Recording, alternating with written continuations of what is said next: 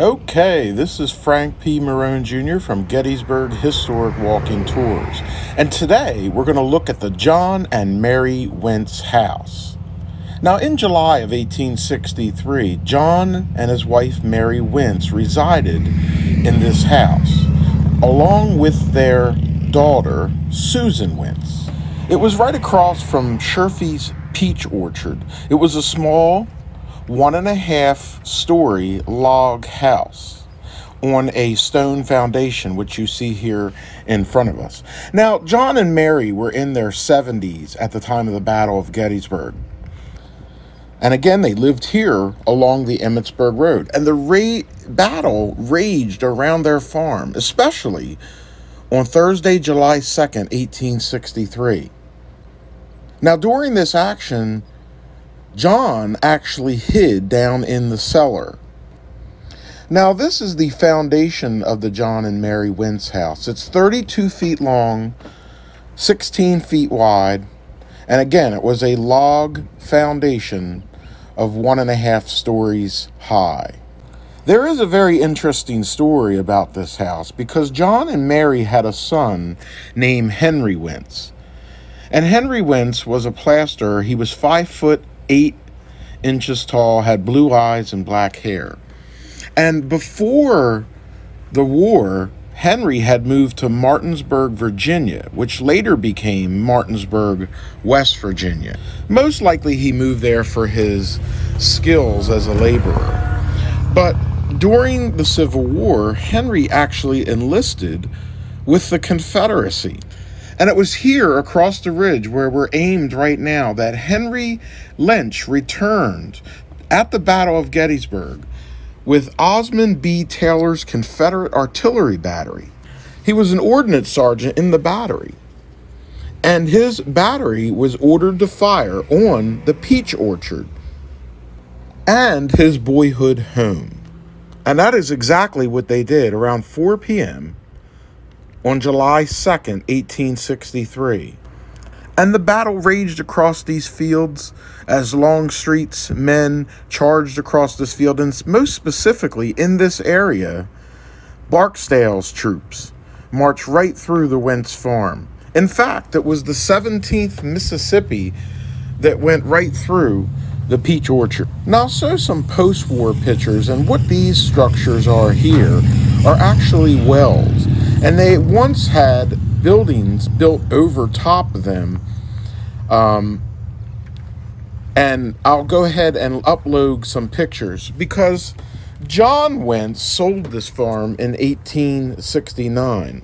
And a man named John Beecher, who was a carpenter by trade, came to the farm. Now he's seen that the farm was in dilapidated condition. Most likely, uh, if it was a log structure, it was probably built somewhere in the late 17s and early 1800s.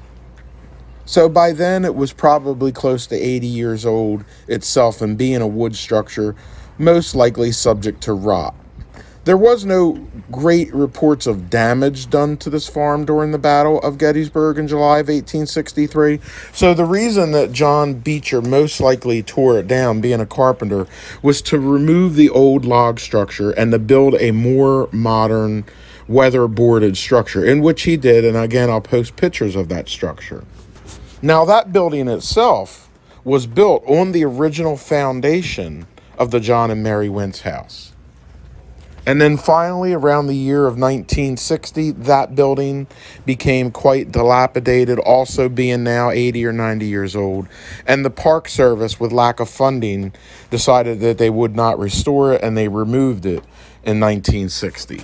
Now, this right flank marker to, marker to Pennsylvania troops, rather, um, is also on the actual Wentz farm. And the monument is along the road right next to the peach orchard.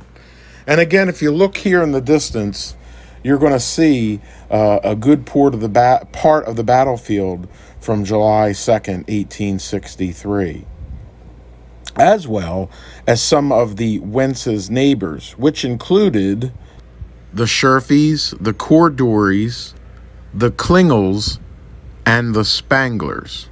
Now, a little bit about John and his wife Mary, who resided in the house. John was born in the year 1786, and he died on April the 18th, 1870, and he is buried in Evergreen Cemetery. Mary, his wife, was born in 1789, and she died just about one year later on April the 13th, 1871, and she is also buried in Evergreen Cemetery. Henry Wentz, the son, the one who uh, fired on his boyhood home, was born in the year of 1827, and he died on December the 10th, 1875, in West Virginia, Martinsburg, West Virginia. So he had moved to Martinsburg, Virginia uh, before the Civil War, and by time the Civil War was over and post war, that part of Virginia became West Virginia. You also want to go back and watch some other videos that I've posted that will show some of the actions that happened around here on this part of the battlefield. And they would include Barksdale's charge at Gettysburg, Longstreet's counter assault at Gettysburg, Longstreet's charge at Gettysburg, the battle for the peach orchard, the Abraham Trostle farm. Now we're zooming in on in the distance. That would be the Henry Spangler farm. Henry owned two farms, one here and another one on the Baltimore Pike. Just next to that farm, of course, is the famous Sherfy farm, where the peach orchard, the Sherfy peach orchard, was a part of that farm. And that is the original house with the recreated barn that was burned down during the Battle of Gettysburg. In the distance, you can also see, uh, in far in the distance, the Codori farm, and then a little bit further to the left there, the Klingel farm. And these were all the neighbors of the Wentzes here in July of 1863. And as we walk back here, again, passing the only remaining original structure, which is the foundation, I just want to uh, let you know that this is one of the great human interest stories of the Battle of Gettysburg. A son, Henry Wentz, born here in Adams County, returns to fight against not only his own native state, but against the farm that he grew up in living. This has been another video, another historical video, the Wentz Farm, here on Gettysburg Historic Walking Tours. And I am your historian, Frank Patrick Marrone Jr.